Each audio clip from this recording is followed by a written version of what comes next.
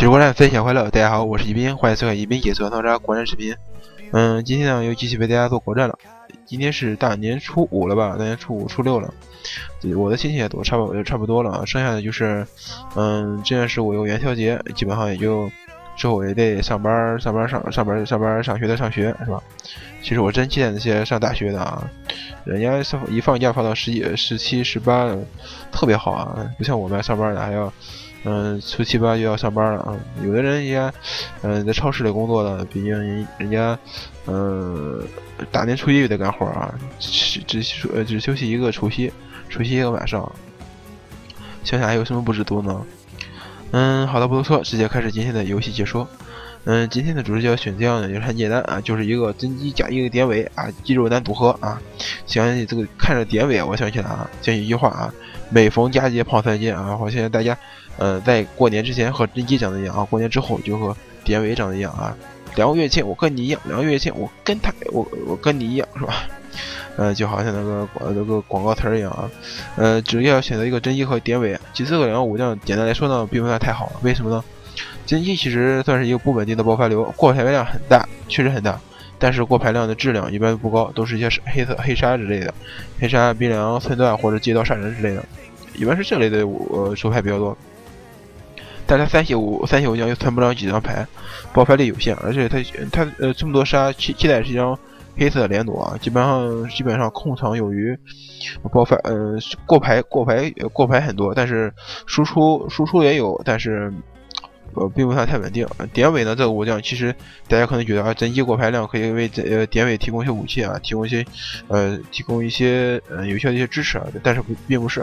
典韦最好的武将是个四血武将，因为他四血武将可以多存牌，多存牌，多存牌有利于四血武将一些爆发伤呃输出伤害什么的。真一和典韦啊就比较矛盾了，因为他呃真一和典韦是一个三血武将，存牌也是有限啊。如果有距离的话，有装有装备的话，呃扔呃。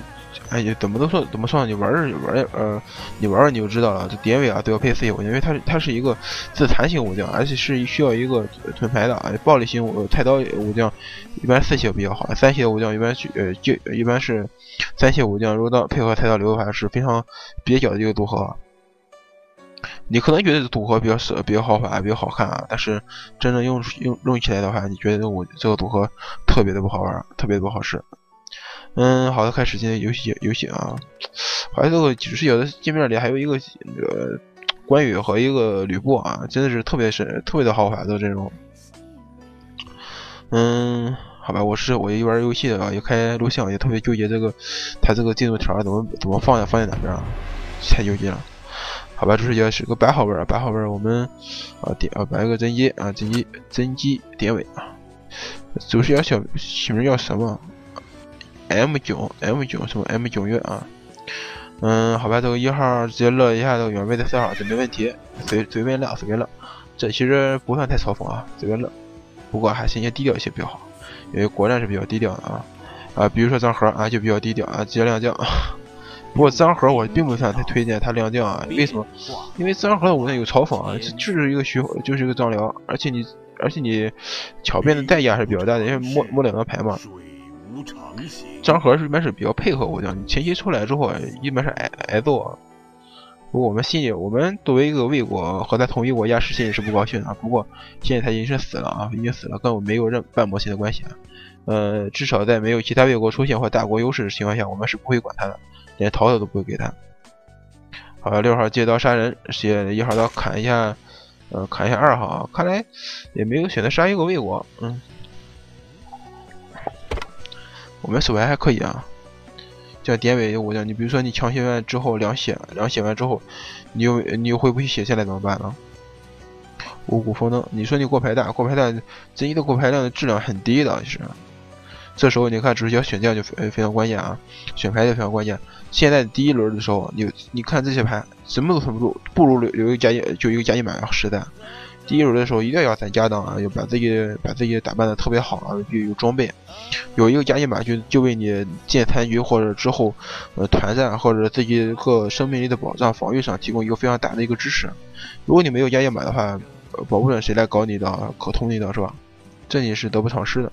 你这时候抢一个无中生有有什么用啊？无中生有，呃，我又又能摸到什么牌啊？我们手里有沙闪，有有沙有闪有无懈，根本不需要这些牌。铁索连环和点王铁索连环你又不打输出，而且你它带一个制衡掉，它另一个作用制衡掉，制衡掉有什么用呢？所以说这时候，呃，有时候五谷丰登打牌也是非常关键。第一轮拿牌的时候一定要选装备啊，因为你知道你手牌，只要你手牌基本牌不缺失的情况下，一定要抢装备啊，特别好的装备一定要抢，不抢的话那才是傻瓜呢。好，直接抢一个八卦，抢一个加一码，这是非常好啊。玩游戏的时候一定要，嗯，这些小细节啊，真真的就是小细节。没有发现我我这些这些其实我都已经具备了啊，想想我真真是太帅了啊。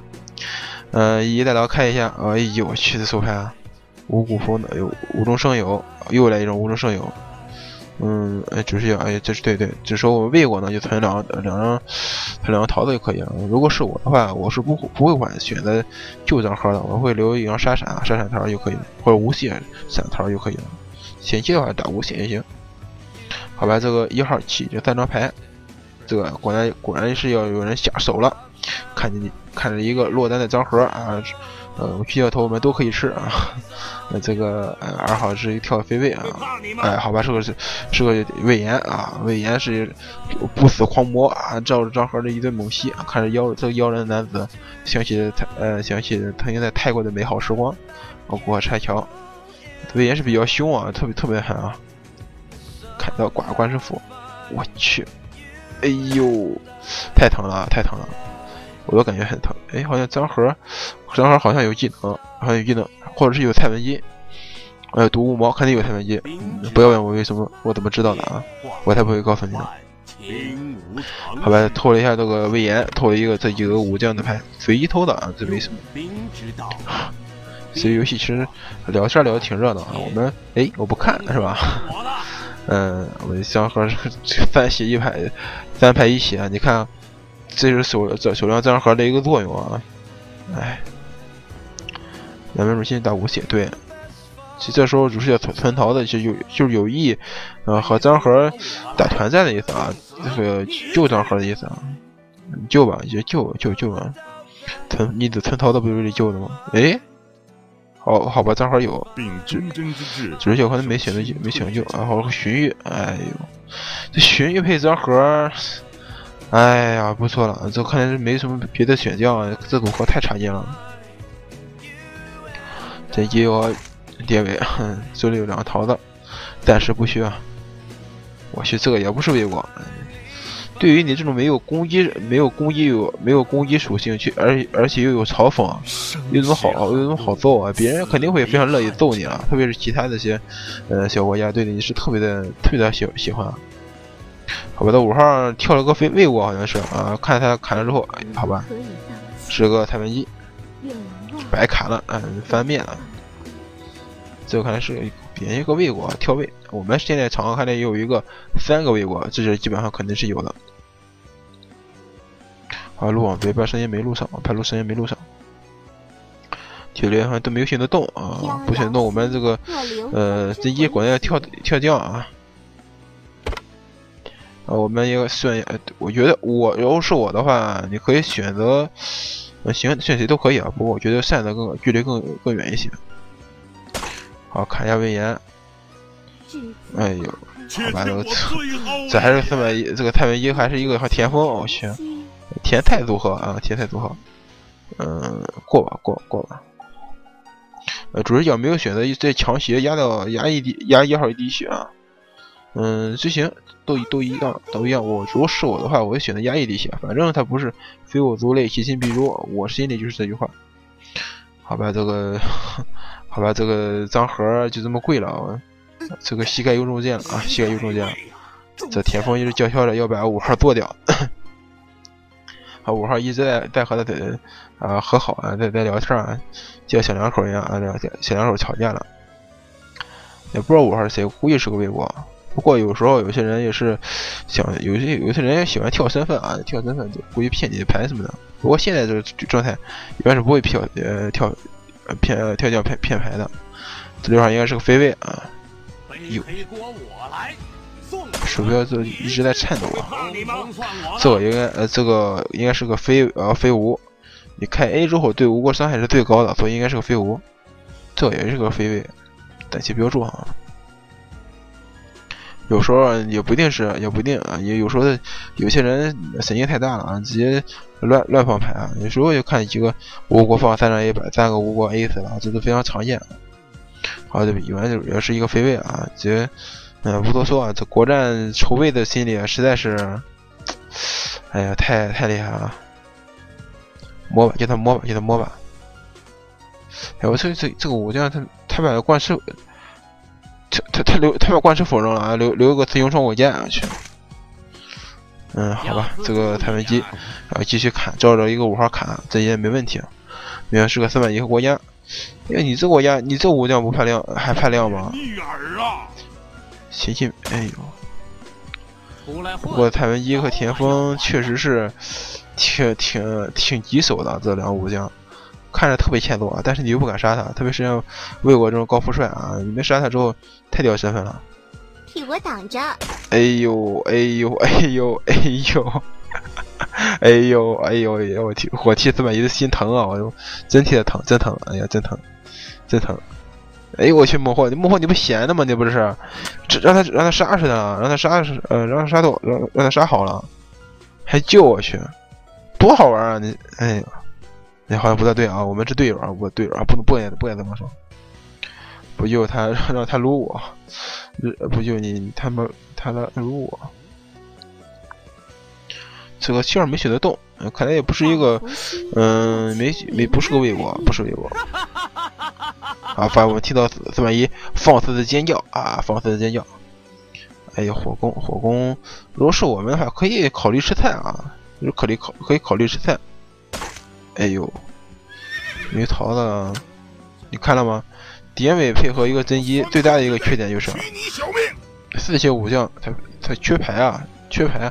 这真一就最好就是防御三张牌防御啊，你这再多一个技能耗牌耗牌的技能的话，对自己伤害还是蛮高的。旁边像是个刘禅，你这都无语不无语啊？你砍不砍啊？是吧？砍完之后防御降低了，别人一看你直接跪啊！这是嗯，太无奈了。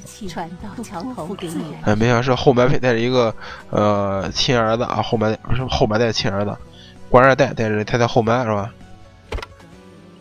啊，两个蜀国顶多二列，占据一角也是也是非常的嚣张啊。我们也是魏国现在表现有些腿腿软啊。哎呦，现在是呃蜀国是在拉拢拉拢群雄啊，魏国嘲讽太高了，其实。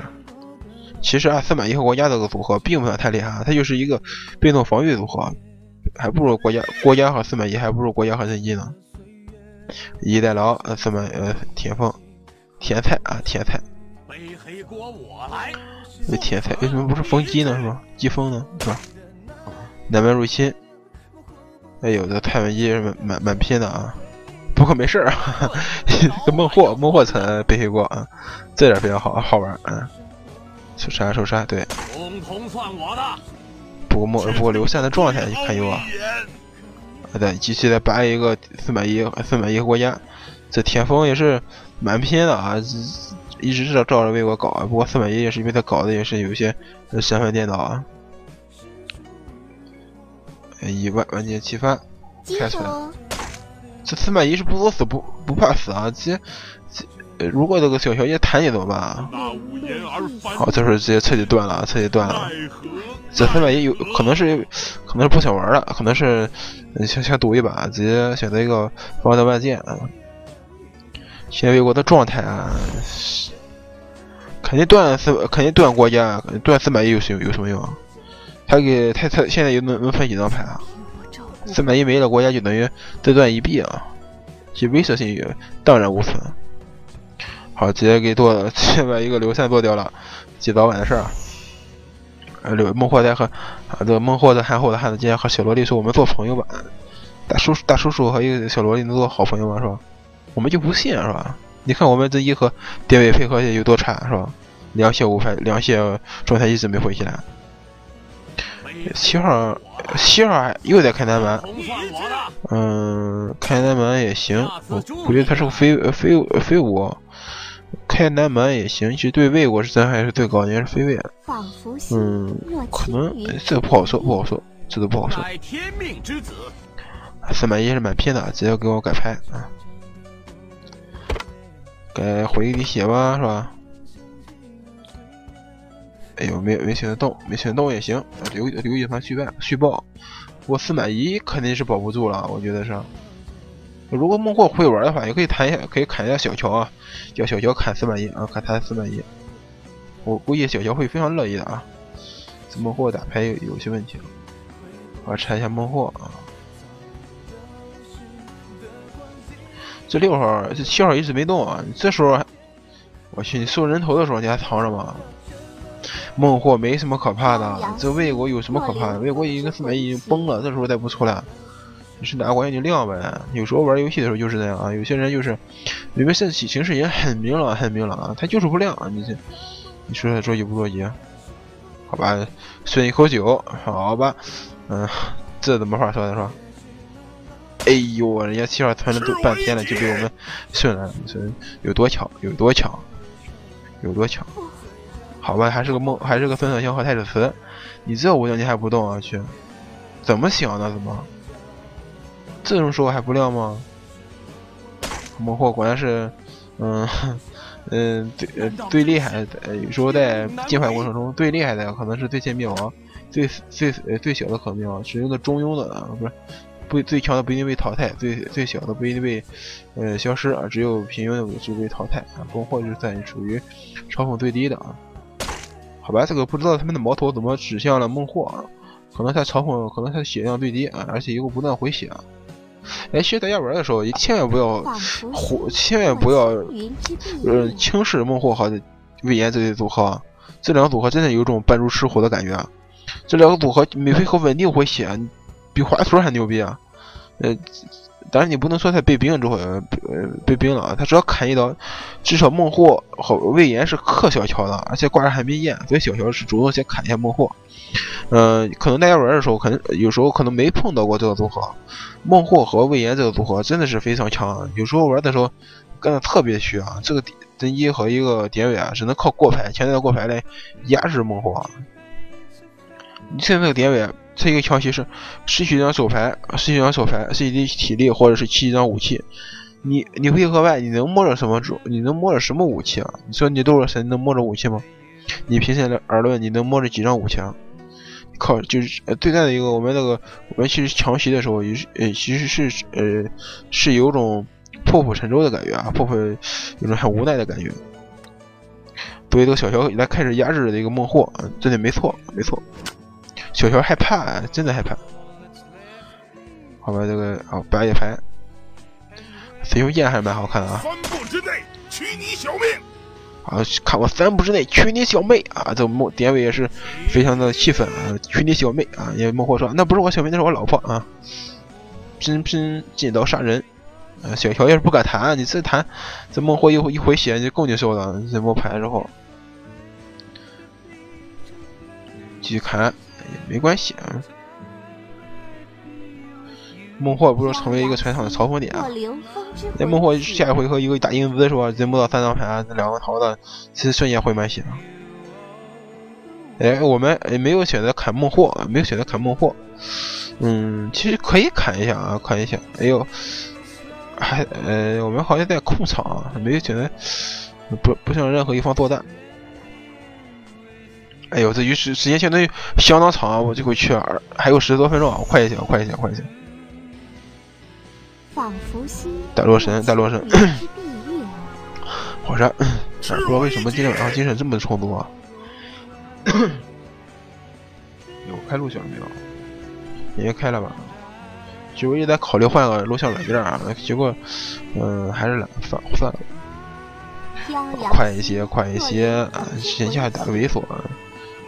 这孟获好魏延，你和他打，简直就是拖后期啊！真的拖后期。仿佛心。哎呦，一直在揣测揣摩，也是你打我，我打你。哦，直接这个万剑没有开，嗯，可能在存存牌啊。有这孟获，没回合又回血血线了，你说？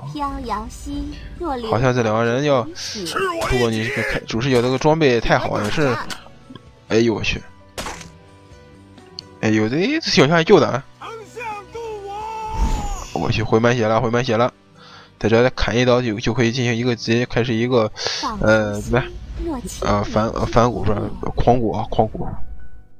我去啊！十几张牌，这个这个女王女王生气了，女王生气，女王生气了，绝对女王绝对生气了啊！可不啊，我我们不不能不能回放啊！哎呦，不过没有检验版？检验版，冰的小乔又好玩了。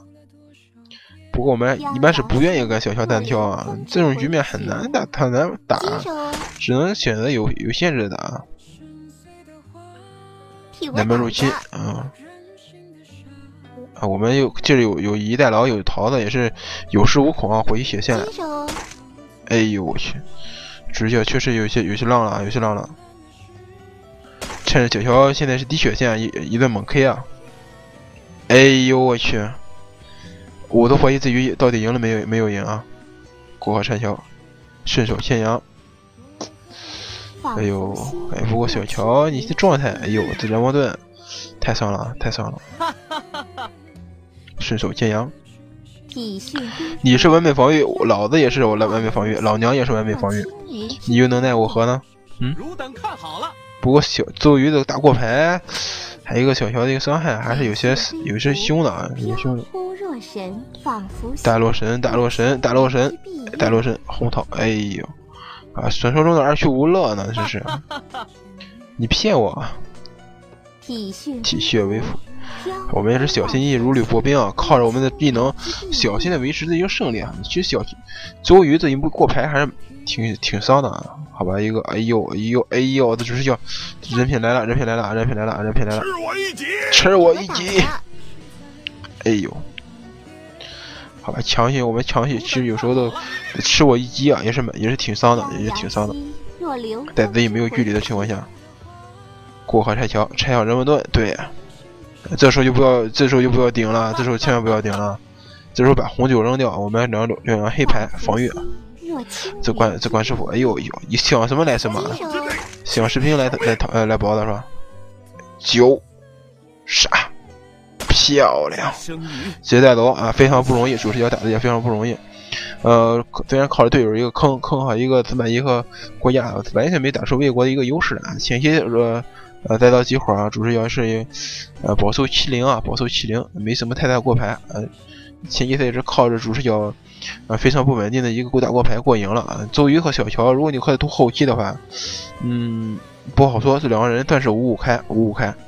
这个魏延和孟获啊确实啊，大家确实不要忽视这个组合。魏延和孟获，大家可能觉得这个组合有什么好玩的，是吧？有什么啊？这呃，我们杀他不是如呃呃易如反掌是吧？说杀他就杀他了，是吧？